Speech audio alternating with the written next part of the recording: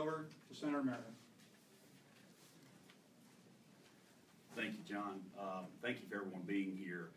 Uh, I'd just like to, to add to what John said, uh, and I also would like to thank Representative Szoka and Lieutenant Governor Dan Forest. They have been the tip of the spear for this. I've been working on this for six years. They are finally moving the ball forward. I appreciate their support. Also want to thank uh, Cumberland County and the city of Fayetteville, as uh, Representative Szoka said earlier. Uh, Representative, I mean, uh, Councilman Kirk deViere is here. Thank you for joining us. Um, So this is really an exciting time in North Carolina. We have a lot of people that do not have access to broadband. We need to have that.